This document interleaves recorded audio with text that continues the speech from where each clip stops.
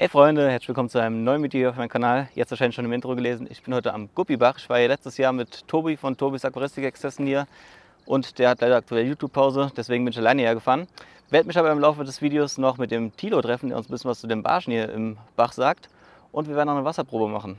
Also, viel Spaß beim Video. So Freunde, ich glaube wir fangen erstmal am Anfang an. Also wir sind ziemlich früh morgens da angekommen, da war es ja, um die 17, 18 Grad. Der Guppibach ja, ist ein künstlich angelegter Bach, der das ganze Jahr über warmes Wasser aus dem Erdreich bekommt und die Wassertemperatur zwischen 31 und 27 Grad ganzjährig halt beträgt in dem Bach. Wie gesagt, ähm, ja, der Bach ist künstlich angelegt und man sieht es ja auch, also wir hatten 17 Grad Außentemperatur ungefähr und der Bach hat halt gut gedampft von den Temperaturen her. Ja, der Bach ist an einigen Stellen ziemlich breit, wie ihr hier seht, und an anderen Stellen sehr, sehr schmal und dicht bewachsen mal mit mehr, mal mit weniger Strömung. Dadurch entstehen natürlich auch verschiedene Zonen in dem Bach, die natürlich auch von den verschiedenen Fischen, die da drin leben, bevorzugt werden. Die schauen wir uns auf jeden Fall heute im Laufe des Videos nochmal genauer an, was das für Zonen sind. Ja, und der Bach war relativ trüb an einigen Stellen, also recht milchig sogar. Da sieht man es nochmal. Komischerweise nicht an allen Stellen. Also umso weiter man ja, flussabwärts gegangen ist, umso klarer wurde das Wasser.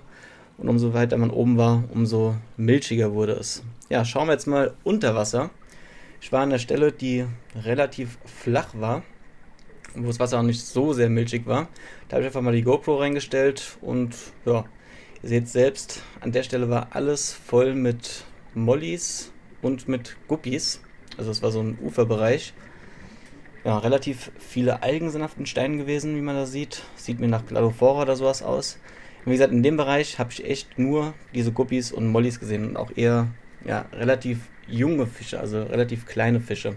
Ja, und um euch mal das Ausmaß zu zeigen, was da wirklich an Fischen drin rumschwimmt, habe ich mir mal den Spaß erlaubt und ein bisschen Futter mitgenommen. Das ist so Mückenlarvenpaste. Und habe die mal ins Wasser reingemacht, um euch mal zu zeigen, was da unter Wasser eigentlich abgeht an Mengen von Fisch, was da rumschwimmt. Also das ist echt, ja, leicht überbesetzt, wie man da sieht. Wir können das Ganze jetzt mal ein bisschen beschleunigen. Da seht ihr mal, was dann ja, am Ende da los war. Ja, wie gesagt, an dem Stück, wo ich da jetzt war, in diesem Uferbereich, waren halt nur Mollys und Guppies. Wunderschöne Mollys, also Naturfarben, dann gecheckte mit gelbem Saum an der, an der Schwanzflosse. Also echt wunderschöne Tiere, aber teilweise auch ziemlich deformiert, wie die Guppiweibchen, die da drin zum Beispiel rumschwimmen. Man sieht es ab und zu, wenn sie dran vorbeischwimmen. Die haben deformierte Kiemendeckel, ja, und sehen halt nicht so ganz gesund aus, sind aber trotzdem topfit. Also irgendwas scheint in dem Wasser noch drin zu sein, was die vielleicht nicht ganz so vertragen. Oder vielleicht ist es auch Inzucht, weil, ja, wer weiß, wie viele da am Anfang reingesetzt wurden von den Guppies. Und ja, ob da frisches Blut dazu kam oder nicht. Wie gesagt, das bleibt ein Rätsel. Aber wir werden ja auch gleich nochmal eine Wasserprobe machen. Dazu aber später mehr ja, wie gesagt, in dem Bereich nur Guppies und Mollys. Und das war natürlich auch ein Bereich, wo sehr, sehr wenig Strömung war, gerade am Uferbereich. Ja, ein Stückchen weiter flussaufwärts, wo dann ein bisschen mehr Strömung war, habe ich auch erstmal im Uferbereich gefilmt. Da hat man dann gesehen, da waren keine kleinen Guppies mehr und auch keine Jungfische in dem Sinn. Aber die ersten Zebrabundbarsche, man sieht sie da ein bisschen durchs Bild huschen. Ja, und wie gesagt, im Strömungsbereich war eigentlich so gut wie gar nichts an Fischen. Ein paar große adulte Mollys sind da drin rumgeschwommen, aber relativ wenig, wie man da jetzt sieht. Also die Strömung ist da auch schon echt extrem stark. Ich hatte da sogar Probleme, dass mir die GoPro ja, gerade bleibt und nicht vom Stativ knickt. Aber wie gesagt, da sieht man, da sind schon die ersten Zebrabundbarsche, die da drin rumschwimmen in dem Bereich. Und ja, sobald man Richtung Ufer kommt, da sieht man dann, wird es dann wieder dichter bevölkert. Gerade auch von Mollys, ein paar vereinzelten Zebra-Buntbarsche, die da drin rumschwimmen zwischen den Mollys. Da sieht man sie. Aber eher ja, dünn besiedelt, sage ich jetzt mal, im Gegensatz zu dem Bereich, wo wir eben waren. Ja, pflanzenmäßig sieht man auch, es ist alles sehr, sehr veralgt. Also richtige Algenpolster sind auf den Pflanzen drauf, auf dem Schilf oder ich glaube, es sind sogar Vallisnerien gewesen, was da reinhängen. Also die sehen auch nicht so gut aus. Ja, ein Stückchen weiter ist nochmal eine Stelle, wo richtig fette Strömung ist. Also da ist, da hatte ich wirklich Angst, dass mir ja, die GoPro abreißt. Ähm, da wird das Wasser irgendwie beschleunigt.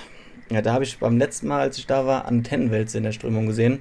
Jetzt sieht man nur ganz vereinzelt mal ein paar Mollys drin rumschwimmen, aber ja, da ist die Strömung, wie gesagt, so krass hart und so schnell, dass da, glaube ich, kein Fisch wirklich Bock hat, sich längere Zeit drin aufzuhalten. Also man sieht es ja auch, da ist so gut wie nichts. Algen sind ohne Ende da. Die sehen sogar ganz schön aus. Also für Algen finde ich das ja, ganz nice. Aber wie gesagt, sehr, sehr krasse Strömung und ja, sehr, sehr dünn besiedelt. So, wir sind jetzt an einer anderen Stelle, wo es ein bisschen, wo es ein bisschen tiefer ist und das Wasser auch ein bisschen trüber ist. Und hier sind überwiegend ja, die Barsche am Start. Ja, noch ein Stück weiter flussaufwärts. Da sieht man, ist das Wasser immer milchiger. Und da ist es aber so, dass am Ufer eine kleine Kante ist und dann geht es relativ ja, steil nach unten. Und das Wasser ist ungefähr so ein Meter, ja, Meter bis anderthalb Meter tief. Und da fängt es dann an mit den ja, Hemichromis und den Zebrabundbarschen in rauen Mengen. Die kommen übrigens die ganze Zeit an die Kamera geschwommen, weil vorne an der Unterwasserkamera blinkt so eine rote LED und das hat die irgendwie ganz schön getriggert, glaube ich. Die sind ständig an die Kamera geschwommen gekommen, sind ja sogar hinterher geschwommen. Fand ich ganz lustig. Aber guckt euch mal diese Hemichromis an, die da drin rumschwimmen. Da sieht man es jetzt noch mal ein bisschen besser im Uferbereich. Sowas von ausgefärbte, knallrote Tiere. Also das sieht man im Zoofachhandel nicht so krass mit, mit solchen Farben, oder? Das ist echt Wahnsinn, was da rumschwimmt. Bei den Zebrabundbarschen sieht man es, die sehen alle so ein bisschen deformiert aus. Die Hemichromis im Gegensatz zu denen sehen echt topfit aus. Ich habe jetzt hier gleich nochmal eine komplette Gruppe von denen gefilmt. Also hier ist erstmal ein Pärchen. Ich glaube, die haben da in der Nähe irgendwo gebrütet, weil das Männchen ist auch ständig an die Kamera geschwommen und ja, hat die versucht zu verscheuchen.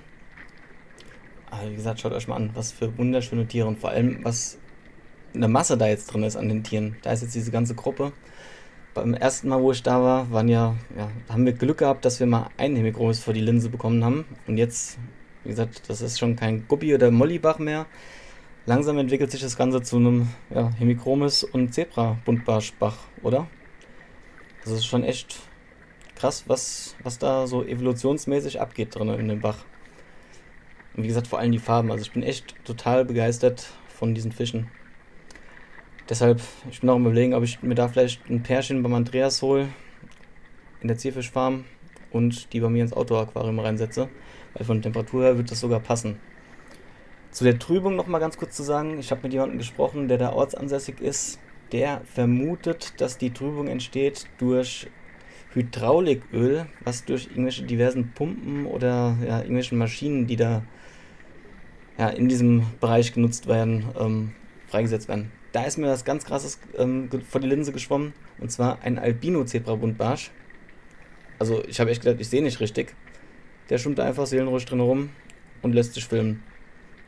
Hat bis jetzt, glaube ich, auch noch keiner im Gubbibach gesehen. Super schönes Tier und vor allem, der sieht auch richtig gesund aus. Nicht so deformiert wie die anderen. Ja, und jetzt nochmal, um zurückzukommen auf den Bereich, wo die sich aufhalten. Da sieht man es, ziemlich kurzes Ufer, ziemlich dicht bewachsen. Sorry für die verrügelten Aufnahmen gerade, aber ich habe mit der Unterwasserkamera im Schild festgesteckt. Ja, da sieht man es, die halten sich so an der, ja, an der Uferkante auf, mit dem Hang ins tiefe Wasser abzutauchen. Also da sieht man, es geht relativ steil da hinten runter. Und ja, die Strömung ist so mittelmäßig.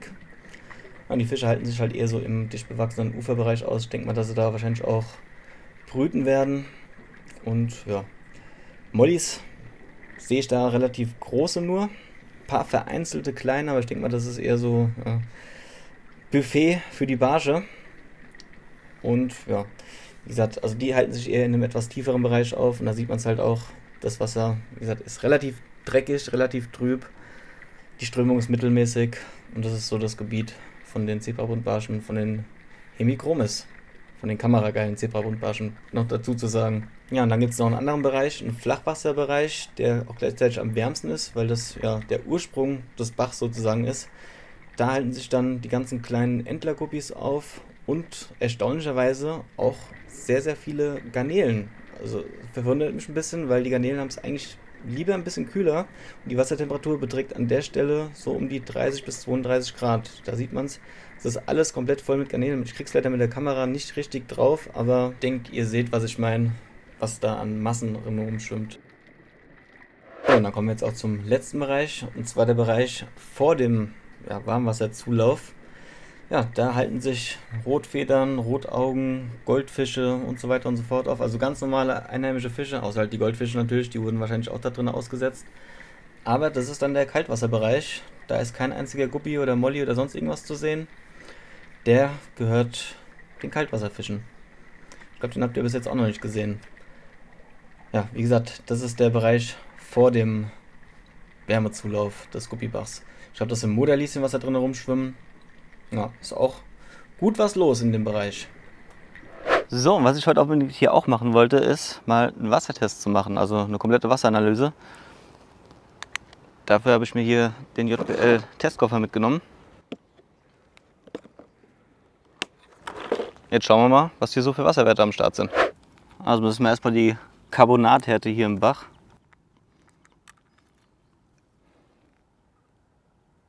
Eins, zwei, drei, vier, fünf, sechs, sieben, acht, neun, zehn, elf, zwölf, dreizehn, vierzehn, fünfzehn, sechzehn, siebzehn, 18, 19, 20, 21, 22, 23, 24, 25, 26, 27, 28, 29, 30, 31, 32, 33, 34, 35, 36, 37, 38, 39, 40, 42, 43, 44, 45, 46, hä? Irgendwas stimmt doch da nicht. 48, 49, 50, 51, 52. Carbonat von 52. Junge. Mit dem Wasser kannst du Leute totschlagen, ey. Also eine Carbonathärte von 52. Heftig. Testen wir mal den pH-Wert. Nee, also pH-Wert ist bei 8. Gut, dann testen wir jetzt mal Nitrit, oder?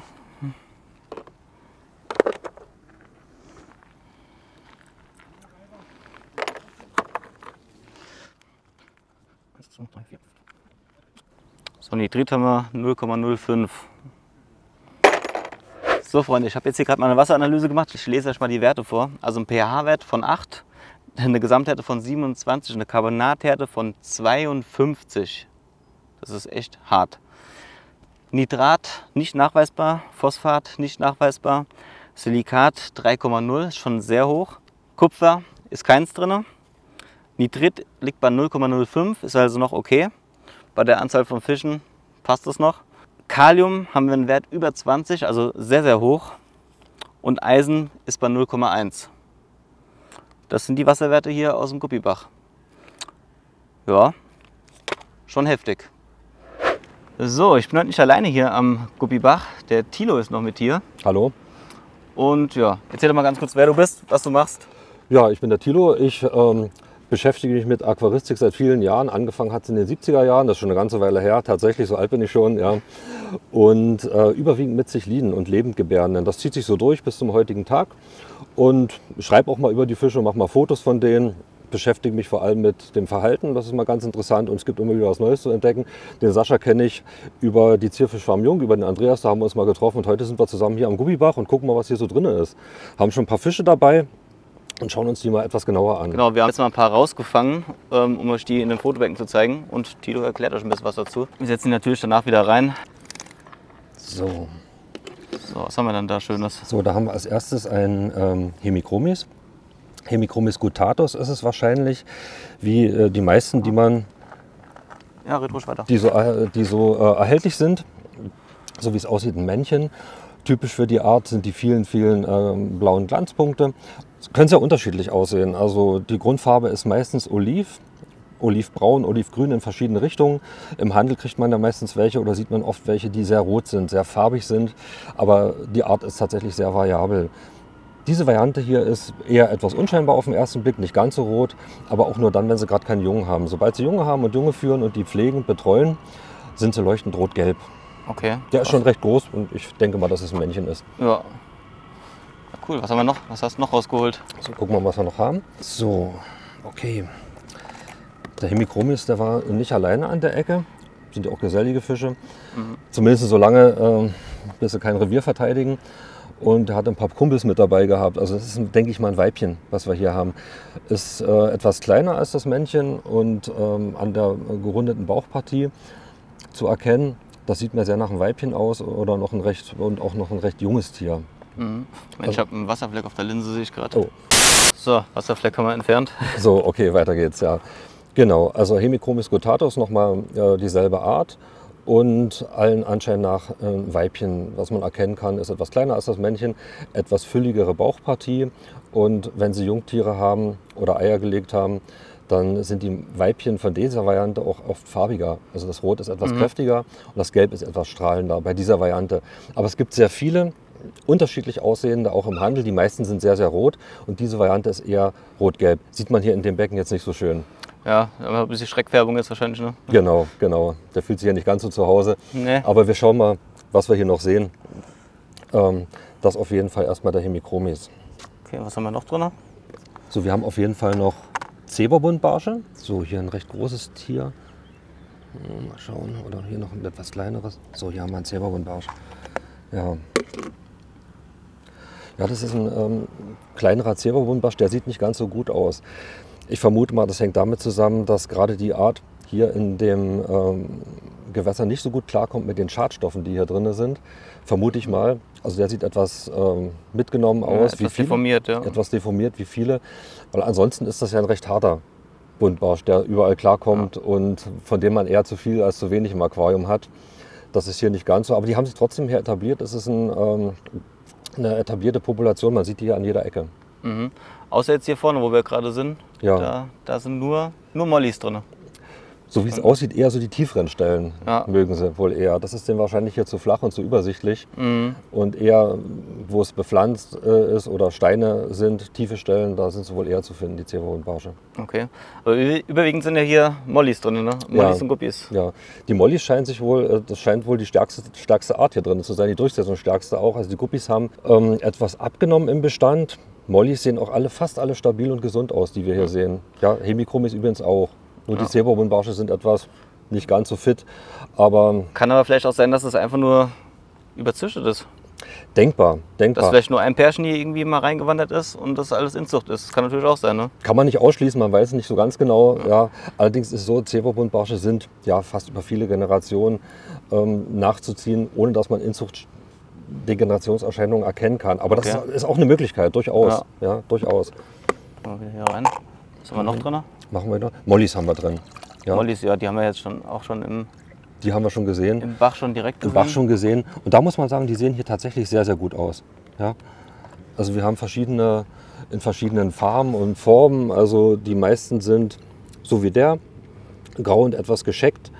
Und die sind alle topfit. Also es sind wenig Mollys, die da etwas schon ähm, schwächlich aussehen oder nicht so gut gewachsen die Mollys ist, denen geht es hier offensichtlich recht, recht richtig gut. Ja. ja. Vor allem bei der Carbonathette, ne? 52 Carbonathette. Wunderbar, da feiern sie Party. Das gefällt denen, ja. ja. Da stehen sie drauf. Also die Mollys sind tatsächlich sehr schön. Also auch sehr schöne Schwarze habe ich gerade gesehen hier mhm. um die Ecke in den Pflanzen drin. Denen geht es hier richtig gut. Ja, ja, cool. Gut, dann würde ich sagen, setzen wir die natürlich wieder zurück jetzt. Setzen wir die wieder zurück. Ja,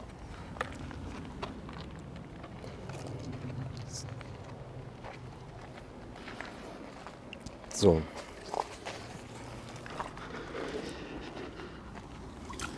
Genau. So, da schwimmen sie. Da schwimmen sie und ziehen sie wieder von dann.